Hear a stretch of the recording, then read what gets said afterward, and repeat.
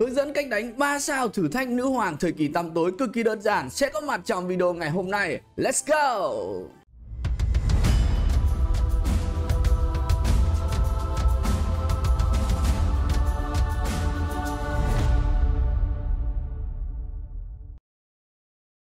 Xin chào mừng tất cả quý vị và các bạn đã quay trở lại kênh Akari Gaming Mình là Akari đây Bộ trang phục nữ hoàng thời kỳ tăm tối đã có mặt rồi các bạn Anh em nhìn thấy cái mũi tên như thế nào đây là một bộ trang phục huyền thoại Và anh em phải mua ở trong cửa hàng thì mới có các bạn nhá. Nó sẽ là cùng đi trong chuỗi sự kiện về thời kỳ tăm tối của tháng 4 và tháng 5 Ở tháng này chúng ta sẽ có về trang phục của quản giáo thời kỳ tăm tối ở trong vé vàng Và trang phục của em Queen. Wow Nhìn cái nỏ mà rực rỡ như thế này thì chắc chắn là phải mua. Sang tháng chúng ta sẽ có trang phục vua tăm tối và nữ tướng tăm tối các sếp nha. Còn tháng này chỉ hai em này thôi. Nếu anh em nào mà múc vé vàng, gói gem hay những gói ưu đãi bộ trang phục phong cảnh Hay tất cả các gói trong cửa hàng mà anh em bị lỗi quốc gia, Cần tư vấn cách khắc phục thì inbox vào liên hệ fanpage Akari Gaming của mình với hơn 143 người theo dõi ở Facebook để được tư vấn khắc phục lỗi quốc gia. Còn các sếp nào tự nạp được, anh em hãy nhớ nhập mã Akari ủng hộ với nhà đây là cách các bạn ủng hộ tớ và Supercell sẽ là người trả lương, động lực rất lớn để tớ tiếp tục phát triển kênh Clash of Clans. Còn bây giờ, 3 sao thử thách nữ hoàng thời kỳ tăm tối. Let's go! Các bạn hãy để quản giáo ở chế độ bay và đi Queen từ góc 6 giờ đi lên cho tớ luôn các bạn nhé. Chuẩn bị một siêu công thành binh phá ở lớp tường thứ nhất. Tiếp tục thêm cuồng nộ và siêu công thành binh phá lớp tường thứ hai. Sau đó cho Headhunter để bắt kinh. Ba xương nhiễu Queen và máy bắn đá của đội bạn ở đây 8 Bloon và 8 Inferno Dragon cùng với cả quản giáo sẽ tấn công thẳng từ hướng góc lên 3 giờ.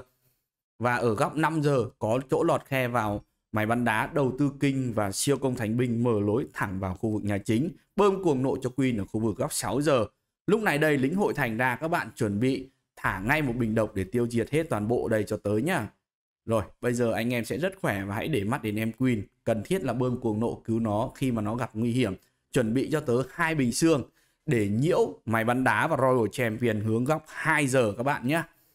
Đây này, đó, anh em nhớ thả cho tớ xương ở đấy, thêm hai cái cho chắc ăn. Và balloon của chúng ta vẫn đang còn bốn em thì vào tiếp hai em ở góc 2 giờ ở đây này. Rồi, khu vực nhà chính thì bơm cuồng nộ cho Queen để xử lý tốt với à, đơn vị tướng của đội bạn.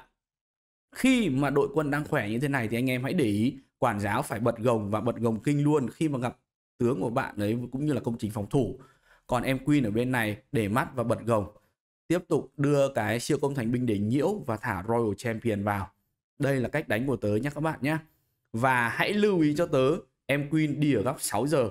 Kinh đi ở góc 5 giờ chạy thẳng vào máy bắn đá và khu vực nhà chính. Dụ lĩnh hội thành thì thả ngay bình độc.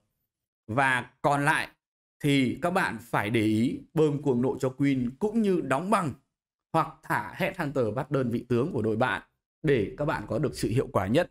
Còn đối với cách đánh này của tớ thì hiện tại tớ đã chấp 4 Headhunter và hai bình đóng băng không xài các sếp ạ. Các bạn nghĩ sao về cách đánh của tớ? Hãy comment ngay ý kiến của sếp ở phần bình luận phía dưới cho mình biết với nhá. Và hãy lưu ý những điều mà mình đã nhắc các bạn trong cái điều cần thiết để phá được ba sao mẫu bay này các bạn. Hiện tại thì mình đánh còn dư một phút và một giây. Còn anh em như thế nào? Comment ở dưới nhá.